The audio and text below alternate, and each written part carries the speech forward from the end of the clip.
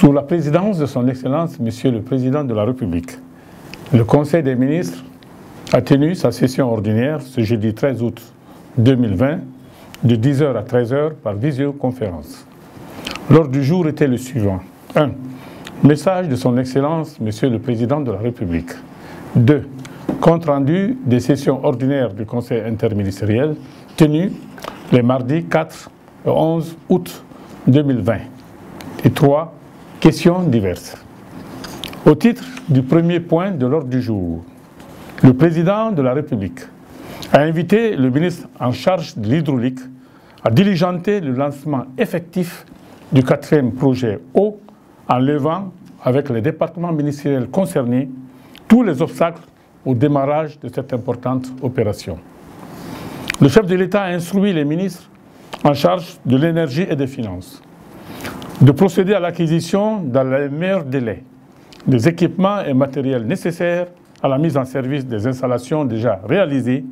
en vue de l'amélioration rapide de la desserte en eau des villes de Cancan et Zérékoré.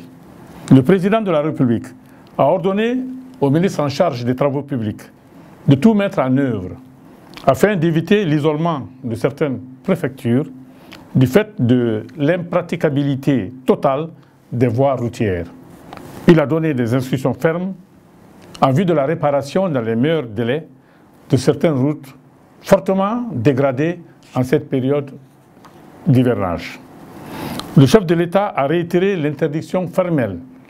faite aux membres du gouvernement d'utiliser des assistants de manière informelle, ce qui amène ces derniers à exécuter des tâches administratives normalement dévolues aux membres des cabinets ministériels et des directions officiellement nommés par voie réglementaire. Le président de la République a rappelé les dispositions légales relatives à l'assurance santé du personnel employé par les sociétés relevant des secteurs privés et mixtes exigé que soit renforcé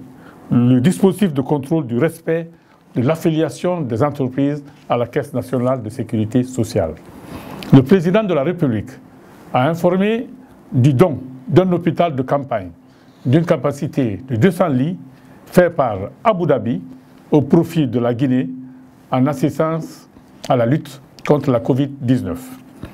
Il a apprécié l'amélioration significative de la capacité de dépistage de notre pays avec la possibilité de réaliser actuellement 1600 tests par jour à la Covid-19. Le chef de l'État a cependant déploré les comportements non civiques de nombreux citoyens qui respectent de moins en moins les gestes barrières préconisés par les autorités sanitaires, et notamment le port du masque et le dépistage systématique avant tout déplacement de Conakry vers l'intérieur du pays. Il a insisté sur le fait que les progrès réalisés dans la lutte contre cette pandémie, avec la faiblesse de la létalité et la hausse du taux de guérison en Guinée, ne doivent pas occulter la gravité de la pandémie au double plan sanitaire et économique. La Guinée ne doit donc pas baisser la garde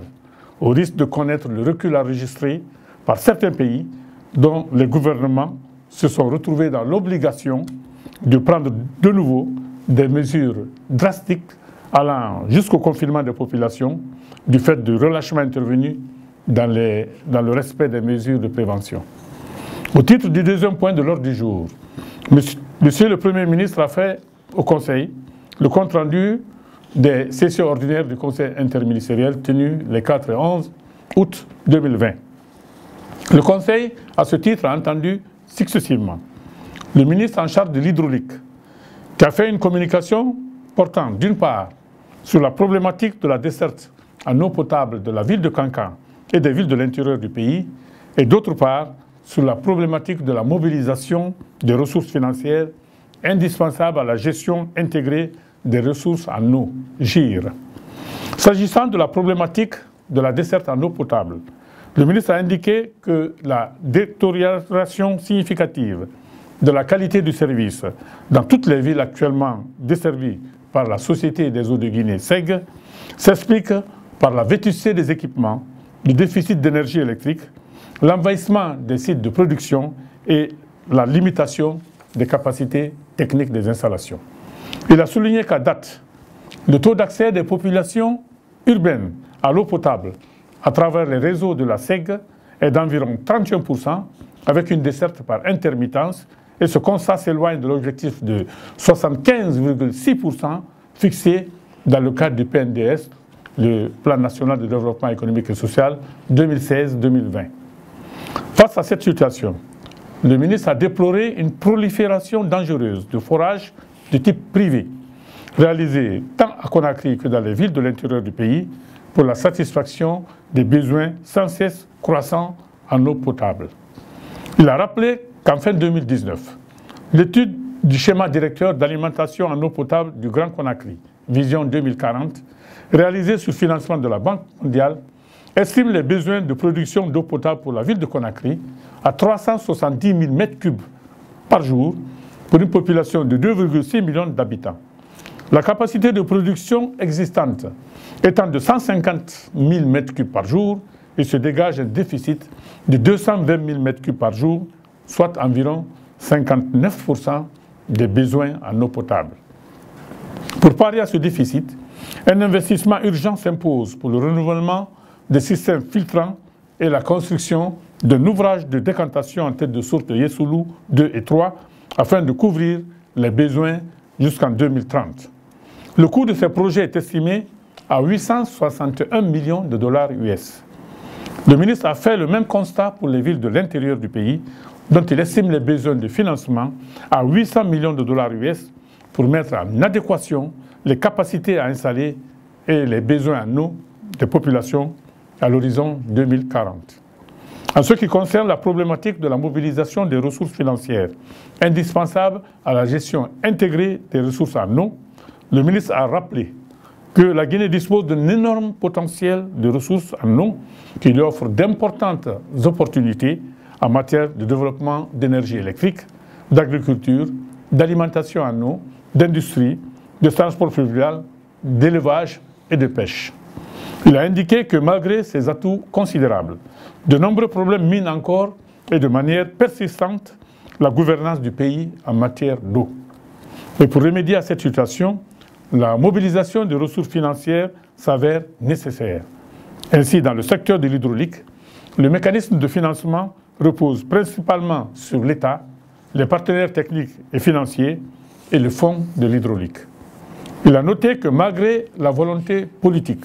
qui se traduit par un engagement réel de mobiliser les ressources financières internes, le fonds de l'hydraulique est confronté à de nombreuses difficultés, parmi lesquelles le non-recouvrement des redevances dues au prélèvement et au turbinage des ressources en eau par certains gros usagers, notamment les sociétés de production d'énergie hydroélectrique,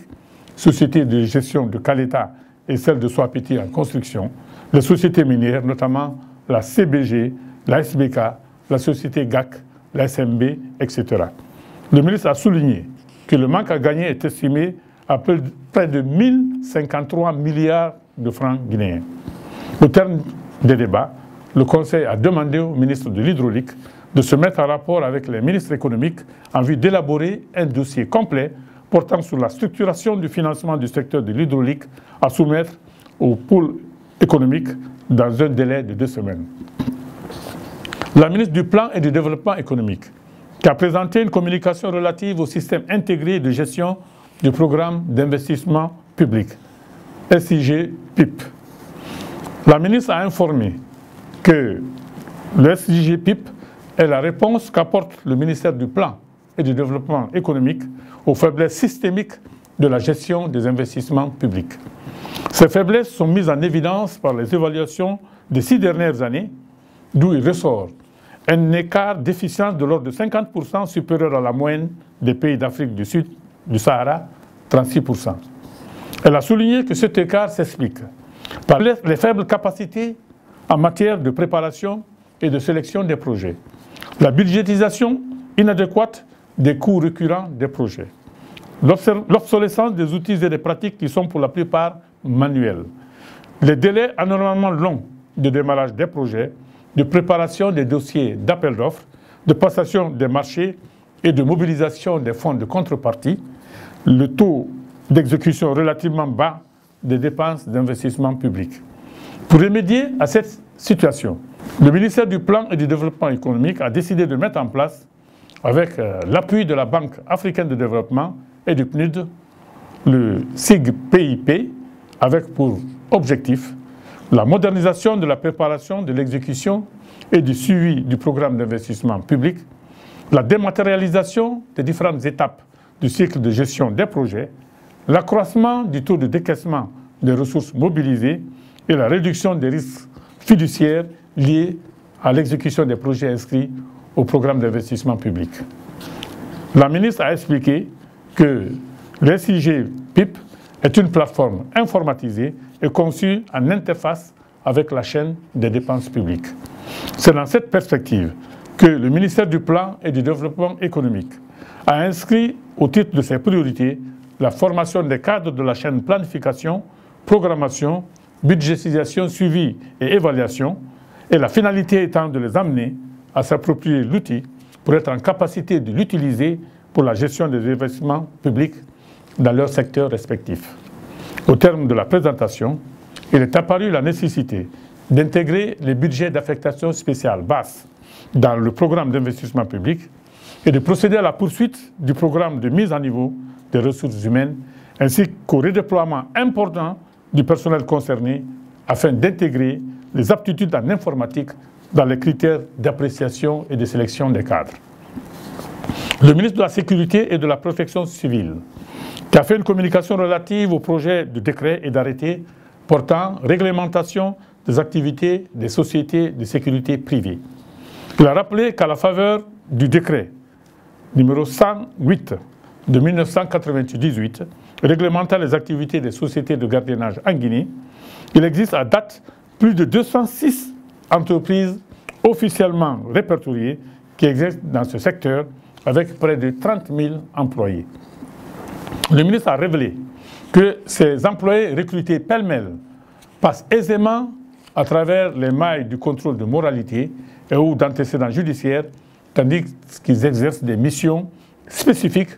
dont la maîtrise nécessite une qualification et des aptitudes particulières. Il a souligné que face au contexte sécuritaire national et sous-régional, un contrôle accru des activités de sécurité privée s'impose. Depuis la création des entités privées jusqu'à l'exécution des prestations en passant par le recrutement et la formation des agents, la vigilance de l'État doit s'exercer à travers une réglementation rigoureuse. D'où les projets de décret d'arrêté soumis en vue d'apporter une nette amélioration à cette situation à risque. Le ministre a souligné que ces projets mettent en exergue toutes les spécificités du secteur et apportent une définition plus précise des activités et des contraintes qui y sont liées. Dans cette approche, il a expliqué que les entreprises ou sociétés sont répertoriées conformément à leurs objets d'intervention et sont présentées séparément comme suit. Société de surveillance et de gardiennage, d'investigation, de services conseil et sécurité, de services électroniques, de transport de fonds, de protection de personnes, de protection incendie, de cinéphiles, de serrurerie et de sceaux. Le ministre a précisé qu'une société de sécurité privée ne peut en aucun cas être investie de prérogatives de puissance publique. Il a également rappelé qu'il reste interdit aux sociétés de sécurité privée de s'immiscer dans un conflit de travail, de se livrer à une surveillance relative aux opinions politiques, religieuses ou syndicales et de constituer des fichiers dans ce but. Le ministre a enfin souligné l'obligation de formation initiale des employés dans un établissement de formation agréé à cet effet. Le ministre a informé que des séances de travail ont été organisées entre le département en charge de la sécurité et l'Union des sociétés et entreprises de sécurité privée pour parvenir à un consensus sur la version finale du décret et de ces décrets et de ces arrêtés d'application. Ce travail a abouti à l'élaboration de cinq textes qui sont soumis à l'examen. Il s'agit du projet de décret portant réglementation des activités entreprises des sociétés de sécurité privée, du projet d'arrêté portant conditions de délivrance de l'autorisation administrative de fonctionnement des entreprises ou sociétés de sécurité privée, du projet d'arrêté portant conditions d'acquisition et d'utilisation des matériels uniformes et insignes des entreprises et sociétés de sécurité privée, du projet d'arrêté portant conditions de délivrance des cartes professionnelles d'agents de sécurité privée, et du projet d'arrêté portant conditions d'ouverture d'un établissement de formation de sécurité privée. Au terme des débats, le Conseil a adopté le projet de décret portant réglementation des activités des entreprises de sociétés de sécurité ou sociétés de sécurité privée et ses quatre projets d'arrêté d'application. Le ministre de l'économie et des finances qui a soumis pour examen les projets d'arrêté fixant le modèle type de statut d'établissement public administratif, EPA, et de société publique. Il a rappelé que l'article 10 du décret d'application de la loi sur la gouvernance financière des organismes publics confie au ministre en charge des finances la responsabilité de fixer par arrêté un modèle type de statut des établissements publics administratifs, EPA, et des sociétés publiques. S'agissant des EPA, il est recommandé de produire une note de présentation du contexte et de la justification de la création de l'établissement public, une étude organisationnelle mettant en exergue la mission de service public, le cadre organique, les descriptions des emplois et des effectifs nécessaires, une étude économique et financière démontrant l'utilité et la viabilité de l'établissement public à créer. Elle devra établir un compte d'exploitation prévisionnel pour les trois premières années, comprenant les ressources propres, les charges d'exploitation et la subvention attendue de l'État pour la réalisation de l'équilibre d'exploitation. En ce qui concerne les sociétés publiques, outre les mesures précitées, il est également recommandé de produire, entre autres, une évaluation des besoins de dotation initiale du capital, apport en nature et en espèces, en vue de l'établissement du bilan d'ouverture de la société publique, un avis motivé du ministre en charge des Finances sur la disponibilité en loi des finances des ressources budgétaires pour libérer le capital sur le rapport d'un commissaire aux comptes. Au cours du débat, les observations ont porté sur la nécessité de fournir la liste de tous les établissements publics administratifs, EPA, et de toutes les sociétés publiques existant en République de Guinée, de s'assurer de la conformité de nos textes vis-à-vis des règles de l'OHADA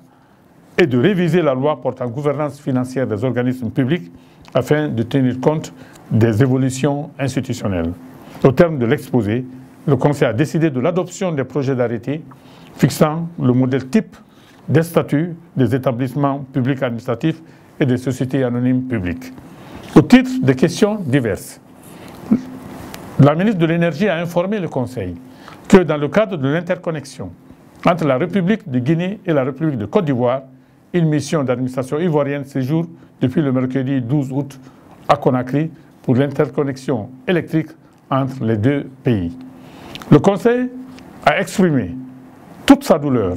suite au décès de l'honorable Mamadi Gawara, rappelé à Dieu le 6 août dernier. Il a exprimé toute sa compassion à la famille du défunt et présenté ses condoléances les plus émues à l'Assemblée nationale et au peuple de Guinée. Avant de lever la séance, Monsieur le Président de la République a donné au Conseil de larges informations sur la situation nationale, africaine et internationale, le Conseil des ministres.